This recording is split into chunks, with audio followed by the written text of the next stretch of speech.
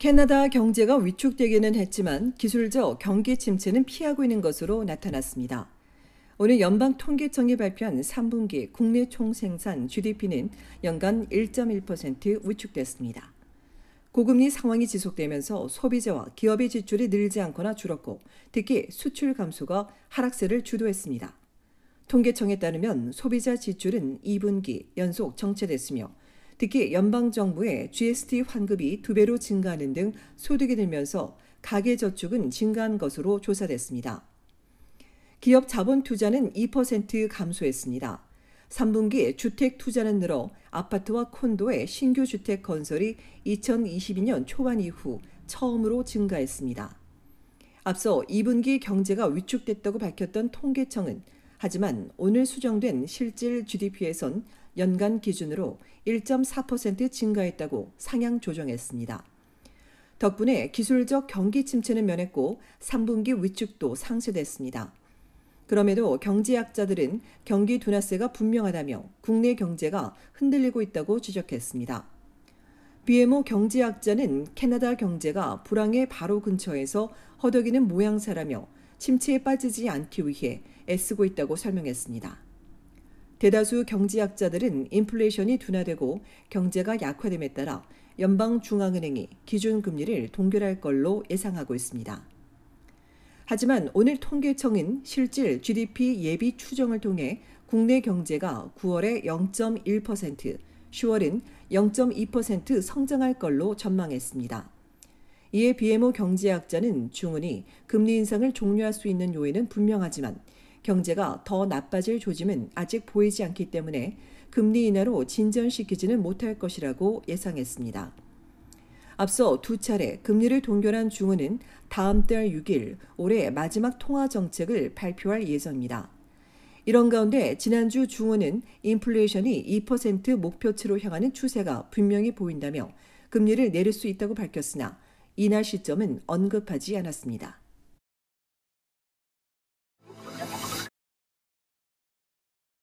캐나다의 청소년 살인 범죄가 급증했습니다. 지난해 전국에서 발생한 살인 사건은 총 874건으로 2021년보다 8% 늘었습니다. 이들 살인 사건에 가담해 기소된 미성년자 수는 90명에 달했습니다. 2021년 33명, 지난 10년 평균 39명보다 2배 더 많은 수치로 50여 년 만에 최고치입니다. 특히 2명 이상의 청소년이 기소된 살인이 19건, 3명 이상인 경우도 7건에 달했습니다. 90명 중 18명은 토론토 출신으로 2021년 3명에서 급증했습니다. 이전의 최다 기록은 2006년 86명으로 이때도 토론토 10대 9명이 기소된 적이 있었으며 주로 갱단과 관련이 있었습니다. 이 밖에도 지난해 경찰관 5명이 살해당해 40년 만에 최다를 기록했습니다. 주별로 보면 온타리오주에서 발생한 살인은 288건으로 1년 전 대비 1% 증가했습니다. 브리티시 컬럼비아주는 155건으로 21% 급증했는데 갱단 간 분쟁이 주 원인으로 마약 거래와 불법 총기 문제를 해결해야 한다는 지적입니다. 엘버타주 119건, 퀘벡주는 110건으로 21% 증가했으며 매니토바주가 40%로 가장 많이 늘었습니다. 도시별로 보면 토론토 136건, 밴쿠버 73건으로 밴쿠버는 꾸준히 증가했습니다. 통계청에 따르면 갱단 관련 살인은 전체 살인의 23%이고 이들의 82%가 권총 등을 사용했습니다. 또 전체 살인의 절반에 가까운 342건이 총기 살인이며 63%는 권총을 사용했습니다. 통계청은 살인이 사회의 폭력 상태를 평가하는 핵심 지표이기는 하지만 모든 폭력 범죄 중 0.2% 미만에 그쳐 여전히 드물다고 전했습니다.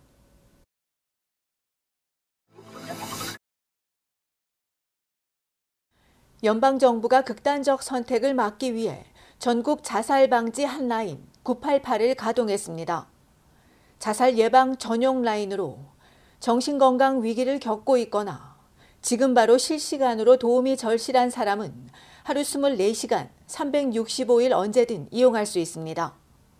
그동안은 10자리의 자살 방지 라인이 있었지만 15개월간의 모든 준비를 마치고 오늘부터는 전국적으로 988로 통일됩니다. 영어와 불어로 지원되고 전화 이외의 문자도 가능합니다. 캐나다에선 매년 4,500명이 극단적인 선택을 합니다.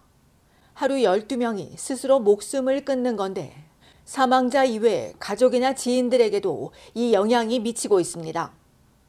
전문가는 부담감이나 소속감 부족이 자살 위험을 증가시키고 또한 우울증이나 불안, 약물 사용 등 정신건강 문제로도 야기된다고 전했습니다. 988 최고 책임자인 정신과 의사는 자살 충동이 즉각적인 대응이 가장 중요한데 연락처를 찾느라 허비하는 경우가 많다며 앞으로는 988을 누르면 된다고 강조했습니다. 988에 전화한 뒤 해당되는 메뉴를 선택하면 전국 39개 대응센터 중 발신자 거주 근처로 연결돼 대응 담당자가 이야기를 경청하고 문제가 뭔지를 파악한 후 필요한 도움을 제공해주고 동시에 안전 문제가 없는지도 확인합니다. 여기서 얼마나 많은 정보를 대응자와 공유할지는 발신자가 결정하게 됩니다. 988 런칭 첫 해에만 60만에서 70만 건이 접수될 걸로 예상되는 가운데 런칭 초기 수요가 많아 대기 시간이 길어질 수 있다며 끊지 말고 기다릴 것을 당부했습니다.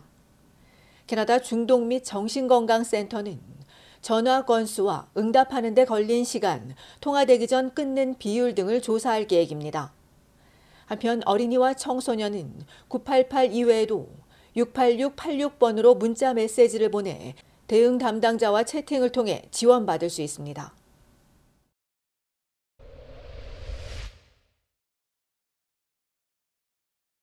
어제나 2시 30분경 온타리오주 놀스요 돈벨리 파크웨이 동쪽 용미스 로드에 있는 아파트 5층에서 화재가 발생했습니다. 불이 난 현장에서 의식을 잃은 채 구조된 50대 여성은 급히 병원으로 이송됐으나 위독한 것으로 알려졌으며 소방당국이 집안에 화재 경보기가 있었는지 정확한 화재 원인은 무엇인지 등을 조사하고 있습니다. 이 밖에도 토론토 경찰은 지난 9일 오후 6시 놀스욕 더 돈웨이 웨스트와 로렌스 에비뉴 이스트에서 발생한 무장 차량 강탈 사건과 관련해 15세 소년을 체포하고 무장 강도와 차량 절도 등의 혐의로 입건했다고 전했습니다.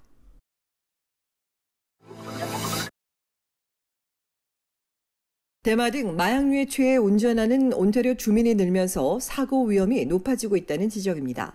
CAA 설문조사에 따르면 최근 석 달 동안 대마초 등 마약류를 투약하거나 섭취한 뒤 차를 몰았다는 운전자는 7%이며 이 중 38%가 식용마약을 섭취했다고 답해 지난해보다 12%포인트, 2019년과 비교하면 무려 2배 급증했습니다.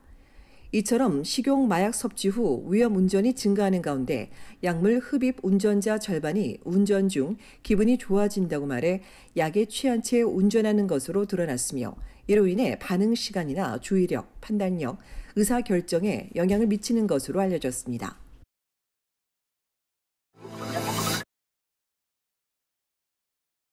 구글이 캐나다 미디어 업계에 매년 1억 달러의 사용료를 지급하기로 했습니다.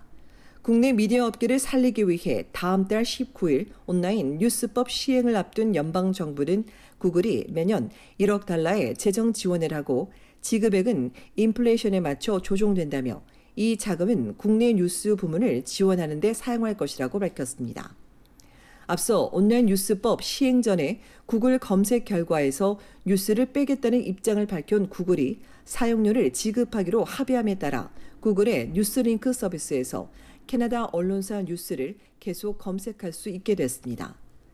지난 8월부터 자사 플랫폼에서 모든 캐나다 컨텐츠를 차단한 메타는 여전히 강경한 입장을 고수하는 것으로 알려진 가운데 빅테크 기업들은 이번 구글의 합의가 선례가 될 수 있다고 우려하고 있습니다. 온라인 뉴스법은 디지털 플랫폼 기업이 현지 매체나 정보와 계약을 맺고 뉴스 사용료를 지급하도록 하는 법입니다.